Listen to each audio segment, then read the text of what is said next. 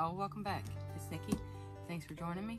Uh, we're gonna delve into this book like I promised. Um, had a few subs ask if they would, if I would look it over.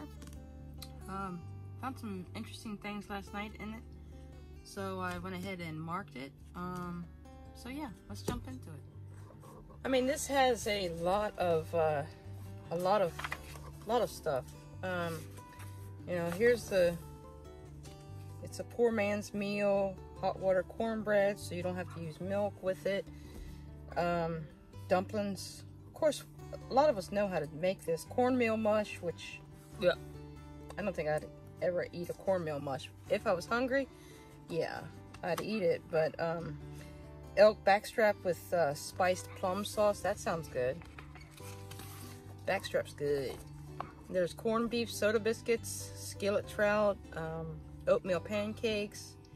And come on down, here's some more recipes with scallop cattails, uh, cattail pollen biscuits, um, I mean, rice, cat on the cob with garlic butter.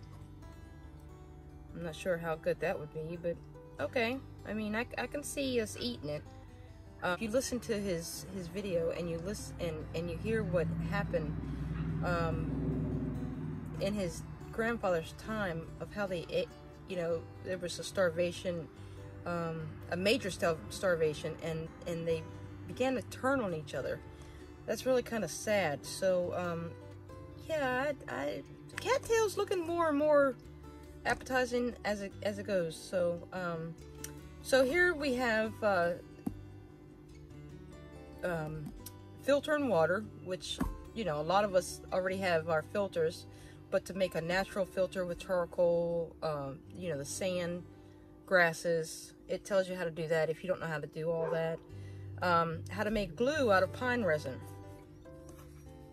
Uh, I mean, it, it just showing the flag, raising a posse, what our ancestors were forging for. Um, it tells you wild lettuce, uh, some recipes for um, wild lettuce. It's a natural painkiller. It, they actually thought it had opiates in it um, back in the day, which it doesn't, but it still gives you that um, that major pain relief that you're looking for you know, um, especially if there's no doctors or medicines to be had.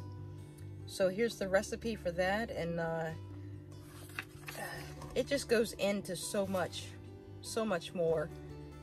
Uh, shepherd's purse, sourdough, watercress, lady's thumb, uh, mulberry mint, plantain, purslane, um, the, uh, then it goes into how to start a sourdough uh, kit for to make your own sourdough bread.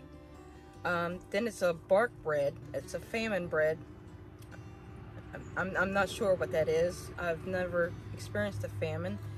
But um, then it, it goes on down further into trapping and uh, types of traps you use for beaver and muskrat. Which if you're gonna trap, then you need to go start watching uh, Georgia Trapping and Fishing. He's got a lot of good um, videos on his channel. Um, how to set the foothold trap, underwater traps, a body grip trap. Um, here's tanning, how to tan the hide, uh, brain tanning. Um, storage ideas, Good old-fashioned cooking on an open flame. Things to do in a root cellar. Uh, and here's the creating the ideal conditions for your root cellar. Here's some poultice recipes. Cast iron cooking, uh, Dutch oven cooking, recipes past and future, some porridge, uh, biscuits and gravy, apple pie, mock mock turtle soup, meat pies, um, stews, breads. Uh, then we then we come on down here and we have a uh, how our ancestors navigated without using a GPS. Because if we have a grid down, the GPS is not going to work. Your phones will not work. Sorry, hate to tell you that, but they will not work. Um, so you, that it shows you how to use the stars, how to let the sun guide you, how to let the moon guide you, um, how the south side, the moss and other vegetation grow on trees, how you make a compass. Like when I showed you my Altoids tin and I said I had a magnet in there, I could scrape that needle that I carry on my uh, Mora. I could scrape that needle onto that magnet, magnetize that needle, and therefore put it on a leaf in some in a puddle of water even. And it would always point north. Um here's for you uh beer and uh moonshiners out there here's how to make a beer here's how to make your moonshine your you make your still um here's the schematic on it make you make your own yeast your hops for the beer, your malted barley. Uh, oh, here's a good one. So, reloading and casting bullets and uh, powder, how to make your powder the old-fashioned way. Um, tells you what kind of reloading equipment needs. You need the, uh, the this also goes into detail on the uh, black powder.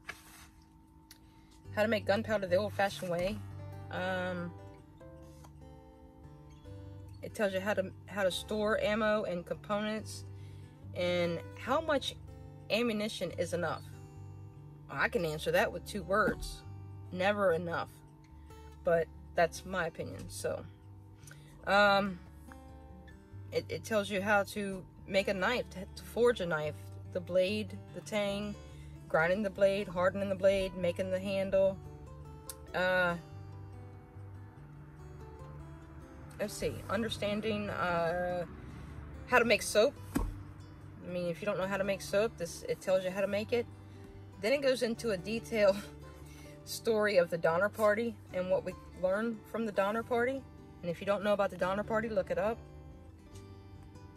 I don't want to go into much detail about that.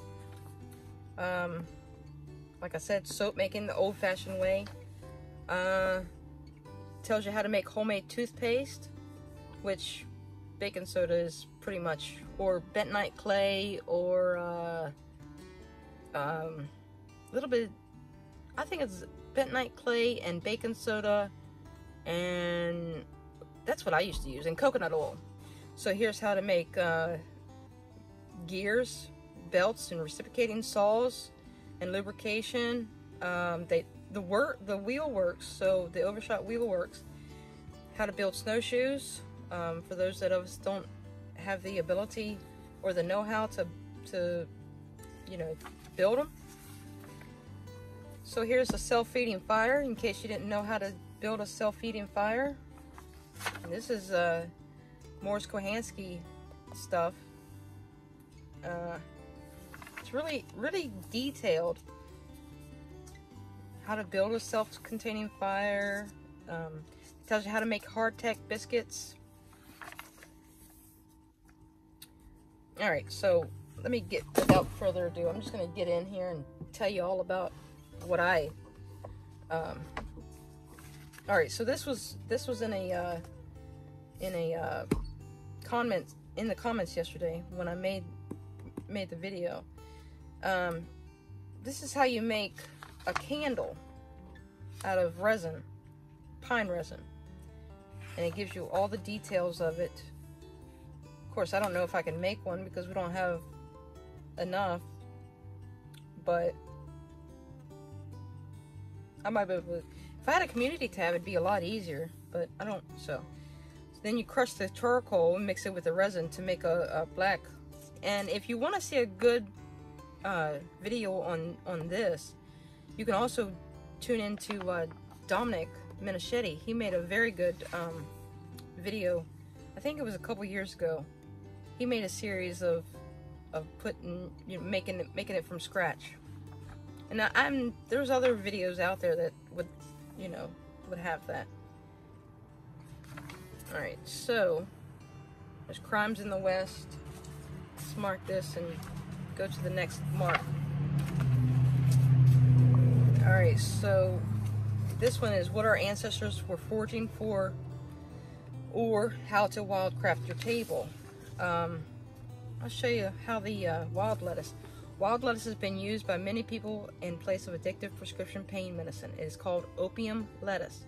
The reason it's referred to as opium lettuce is due to the pain relieving and sedative effect that it has known to produce through a white substance found in the stems and leaves. And if you pick that off, you can actually see that. If you pinch it between your fingers, you can actually see that.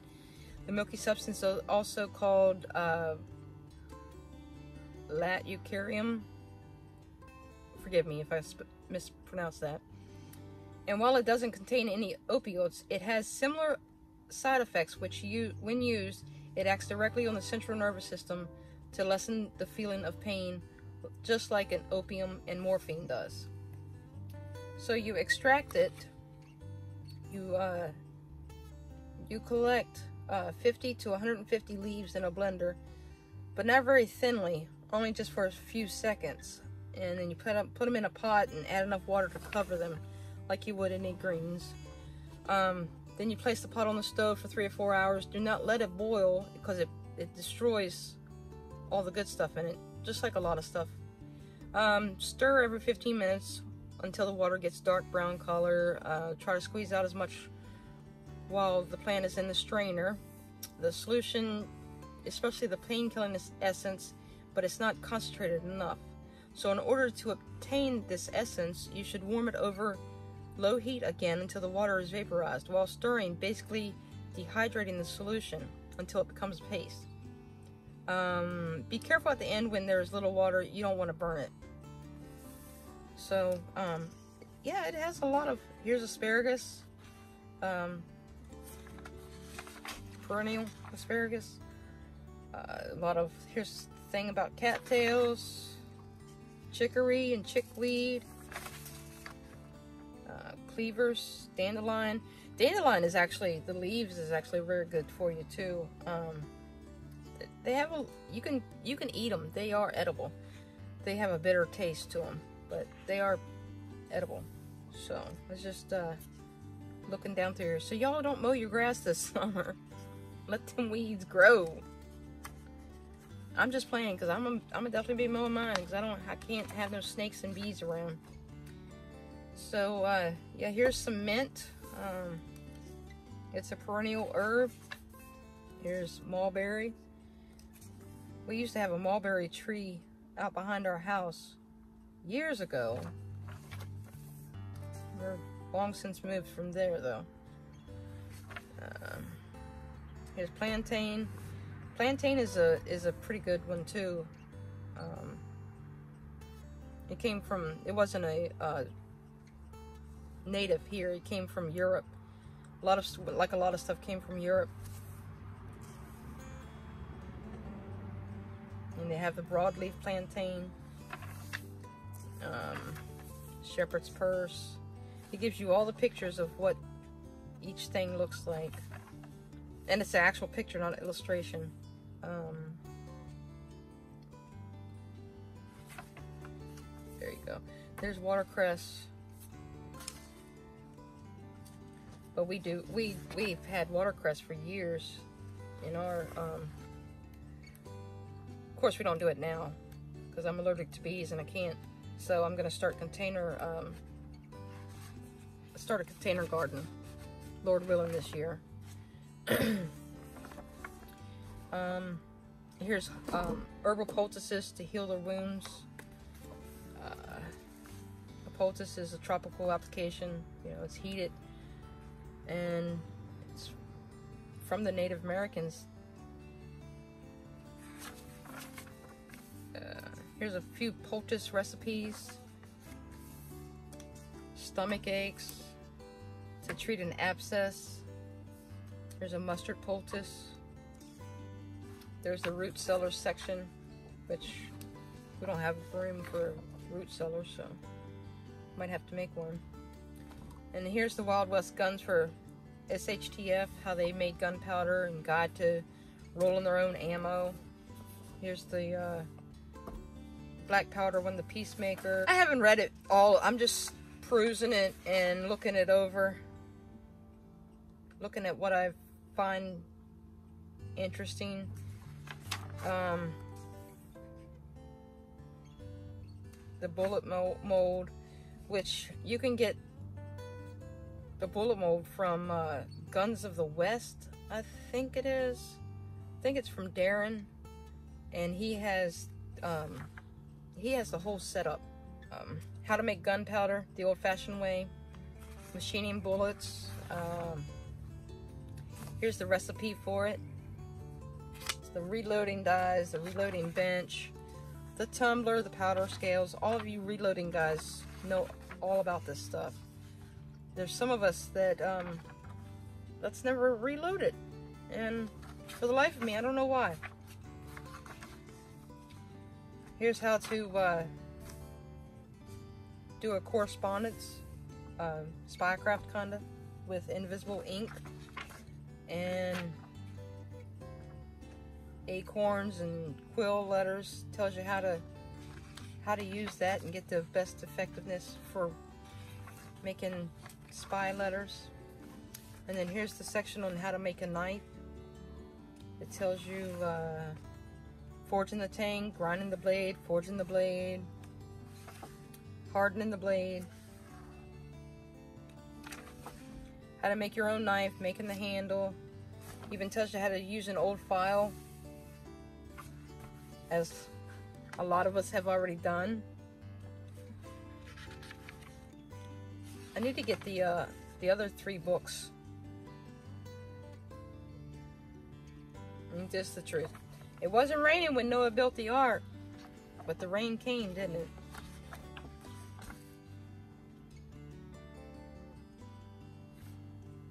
So you can make uh, soap with modern ingredients. Uh,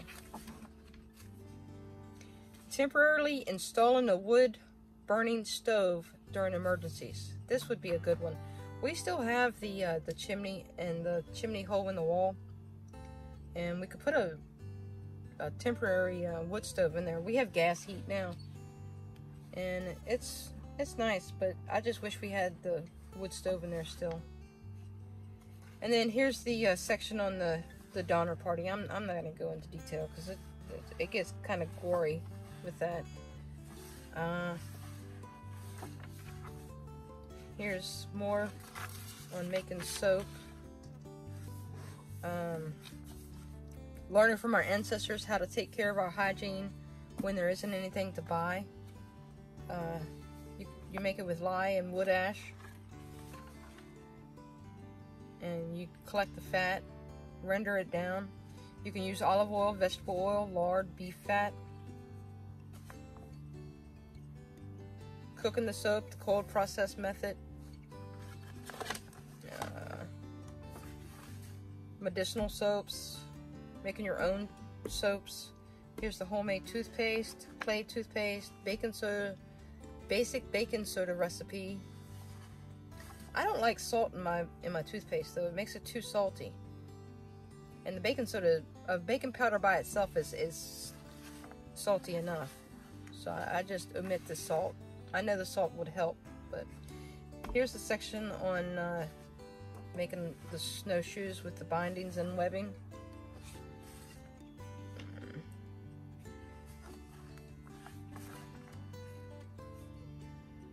Here's the sawmills, grain mills, and stamping mills, how they built them in the day. I hope this video turns out right. I haven't looked at it because I got it angled down. I can't really see it, so I might have to redo it. But, um, if you guys are interested in getting this book, I would definitely highly recommend it. I would definitely recommend it. Um, this this Claude Davis. He has a uh, a website. It's uh, askaprepper.com. Check him out. He's uh, he's he built his own he, he built his own cabin. He's trying to give everybody some heads up. So he's a firm believer in practice what you preach. So he has personally built a log cabin where he lives with his wife and his two children cooking outside in an open flame, making his own clothes, and stockpiling homemade canned foods are just a few things he loves doing. He believes that, in, that the teaching of the forefathers can prepare us for anything in life. After all, a crisis is what people 150 years ago called daily life. No electricity, no computers, no internet, no supermarkets, no pharmacies in sight. And still they came out on top. Otherwise, he we wouldn't be here. So give it a try. Know, it, they're they're very good books. Reads has a link to all five of them, so it might give you the best price for for the books to buy. Or you can just go to thelostways.com, eh, like I posted in the last video, and get your book from there straight. But anyway, y'all take care and have a good day. God bless.